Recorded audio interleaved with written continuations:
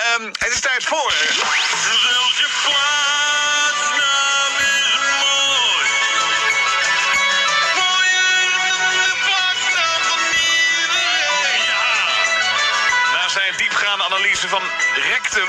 Wat toepasselijk allemaal, hè? Want Gisteren hij in Rectum, onze ster-reporter. Hij is vandaag ook weer eh, vroeg op pad gegaan voor, voor ons. Want ja, nu we massaal in Nederland op vakantie gaan... is het tijd om de pareltjes onder de plaatsnamen te ontdekken. En onze ster-reporter is niemand minder dan Henk Westbroek. Henk, waar sta je vandaag? Goedemorgen Gerard. Ja. nou, ik sta in het wonderschone, mag ik toch wel zeggen, want alles ziet er hier blinkend uit en dat kan ook niet anders. Waspik. Waspik. En Gerard, in Waspik is het dus echt schoon. Echt schoon. Ja, ja. Ruikt hier ook naar chloor. Wat een chloorlucht. Hmm. Weet jij trouwens wat het tegenovergestelde van Waspik is, Gerard? Geen idee, Henk. Is kut. Dat zeg je, Henk. Dat zeg je toch. En, eh, Maar goed, valt er nog wat te beleven daar in dat waspik? eh? nou, eh, ik sta hier vlakbij het kruis. Punt. uiteraard. En er is een hele hoop verkeer. Uiteraard geslachtsverkeer. Dat dan weer wel. Juist. Het is eh, gezellig druk en de kunst en cultuur is hier ook zeker niet lullig. Mhm. Ik sprak net een jonge heer en die was lid van de plaatselijke fluitvereniging, Gerard. Heb je hier ook hier. Oh. En die draagt de naam Tampeloerus. Maar natuurlijk, Fluitvereniging Tampeloerus. Dat is geen fluitje van een cent, maar zeker een aanrader. stijf van verbazing sta ik, Henk. Ik dacht dat er geen zak aan was daar namelijk. Nee, Gerard. Ik raad alle mensen daarom ook aan om deze zomer uit te rukken naar Waspik. Ja. Hartstikke leuk. Nou, goed om te weten. Dankjewel. En morgen weer, Henk, of niet? Ik zeg vooruit met de geit. Ik spreek je leuter, Gerard. Ja. Dankjewel, Henk. Je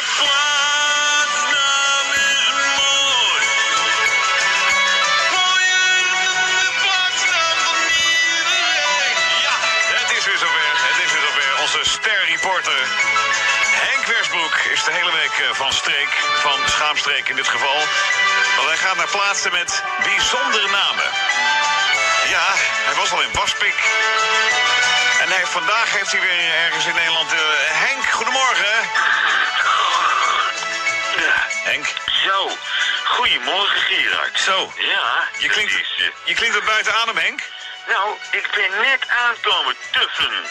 Maar ik ben er hoor. Schraap de kelen maar. Want Henk staat in Roggel. Ah, ik had al zo'n donkergroen vermoeden. Fluim. Scherpe opmerking weer, Gerard. Ja. Snotverdorie. Hoe verzin je het toch? Nou, dat valt wel mee, hè. En, eh, maar goed, jochie. Henk? Sorry. Ja, Ik ga een beetje mee in de sfeer hier. Roggel kan ik een heleboel over vertellen. Roggel is een heel leuk plaatsje in Limburg. Ze hebben hier heel veel bakkerswinkeltjes. Roggelbrood, dat is hier een absolute delicatesse. Tuurlijk. Ik heb er net al één achter mijn kiezen. En eh, eh, eh, het komt nu al mijn neus uit, Gerard. ja. Hey, En, zijn de eh, mensen een beetje aardig daar in Roggel, of niet? Nou, wist jij dat mensen in Roggel Roggelnaren worden genoemd? Nee. En dat is niet zonder reden. Nee, nee, ze zijn naar. Roggelnaar. Ja. Er lopen hier alleen maar slijmballen rond, allemaal met zo'n houding van... Ik roggel het wiel. En terwijl ik hier sta, glijden de mensen achter mij uit. Zo glad is het hier. Of zoals Kane jaren geleden al zong. Zo glad, you made it. Nou, Henk, je slaat, le- En, je slaat lekker door, hè? ja, ik sla door, ja. En niet zonder reden. Ik zal je vertellen, Gerard, zelfs de lama's zijn het hier spuugzat. Ik moet eigenlijk mijn nummer aanpassen. Zelfs de lama's zijn het hier spuugzat. Mooi. Eh, Mooi, Henk. Nou, roggel je lekker verder. En morgen weer, hè? Henk, Eh, eh, tot morgen. eh. Henk, hoe is het verder? Nou. Henk vanuit Roggel op zoek naar eh, plaatsen waar je van streek kunt zijn. Schaamstreek in ieder geval. Vanuit Roggel. Nou.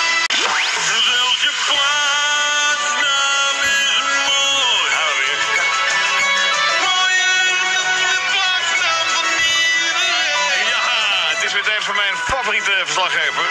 Want deze hele week is eh, Henk Wersbroek voor ons op pad gegaan. Want ja, hij, eh, hij weet natuurlijk waar we deze zomer heen moeten. Nu we massaal in Nederland blijven. Op zoek naar vreemde plekken. Hij is al geweest in Rectum, in Waspik. En gisteren stond hij in Roggel. En eh, hij is er vandaag weer bij. Henk, goedemorgen. Nou ja, jochie. En ja, ik, eh, ik sta vandaag hieruit in een ontzettend mooie streek. Een schitterende streek. Echt een schaamstreek moet ik zeggen.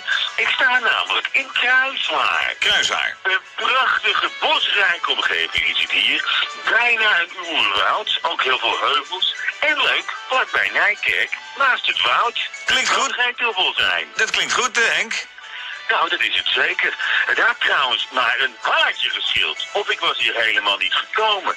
Zoveel pech vanmorgen. Het is een soort van, ja, hoe moet ik het zeggen? Een soort Bermuda-driehoek waar ik ben. Ja. Ik had dus problemen met mijn auto, maar blijkbaar is dat schering en inslag in Kruiswaar. Ja, maar dan goed gekomen. Zijn de mensen vriendelijk daar? Nou, die zijn zeker absoluut vriendelijk. Sterker nog, Gerard, de mensen hier zijn poeslief.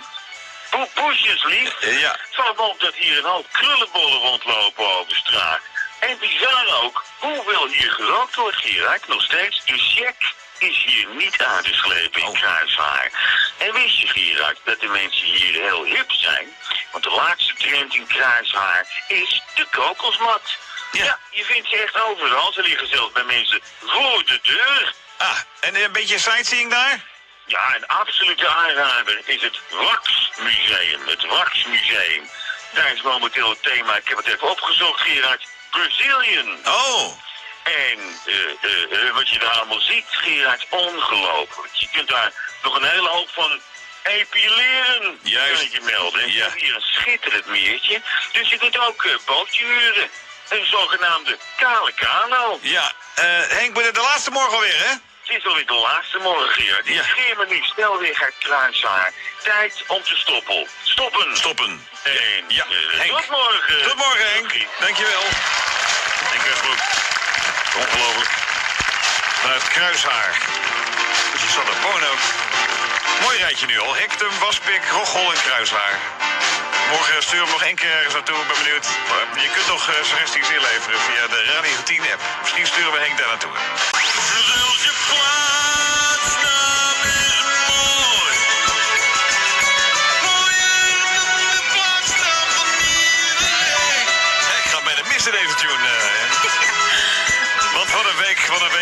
Henk Versbroek eh, deed de hele week van ons, eh, voor ons live verslag. Vanaf plekken waarvan je dacht, bestaan die echt? Ja. Hij stond in Rectum. Hij stond in Waspik. In Roggel. Gisteren stond hij in Kruishaar. En ja, dan heb ik het over plaatsen in Nederland waar hij dus even op onderzoek is eh, uitgegaan wat er allemaal te doen is. Want ja, we blijven een beetje in eigen land natuurlijk. Eh, maar ja, gisteren vroeg ik ook via de Radio 10 app, jongens, waar moet hij naartoe? Eh, zijn er nog plekken? Nou, deze kwam heel vaak binnen. Ik heb hem volgens mij ook echt ter plaatse, ter plaatse staan. Henk Westbroek! Oh ja, Gerard. Goedemorgen. En, nou Gerard, ik heb zonder twijfel echt het beste voor het laatste bewaard. Ik sta momenteel namelijk in Sekspieren. Ah. Zonder twijfel een combinatie van mijn drie absoluut favoriete hobby's. Seks, bier en rum. Ja. Ze gaan hier niet van België uit, maar van pils. Tuurlijk. En eh, speciaal voor vandaag heb ik mijn overhemd met schuimkraag aangetrokken. Seksbieren, aparte naam wel, Henk. Ja, dat is wel een aparte naam. Hè? Nou, precies daarom sta ik hier. Ik zal je zo eens even vertellen waar de naam Sexpirum vandaan komt. Want de heilige Sextus, die was in een groot vat met bier gevallen. Waar toevallig ook rum in gesignaleerd was later. Oh, ja. En eh, hij was sindsdien op seksueel gebied het bokje. Het bokbiertje kan ik dus eigenlijk wel concluderen. Favoriete brouwsel een biertje van kwak was. Nou, en zo komt Sekspirum aan haar naam. Bij- Het kan bijna niet waar zijn, dit. Ja, ach, Gerard, laten we wel wezen. Na drie glazen rum kijk je niet meer zo nauw. Ja, dat is waar. En, eh, eh, eh, maar goed, deze Friese plaats is ook wel echt een, grote inspiratiebron geweest. Voor menig artiest, hè. Oh. Zij dachten, seksbieren, seksbieren, daar zit misschien wel een nummertje in. Daar kan ik een nummertje op maken.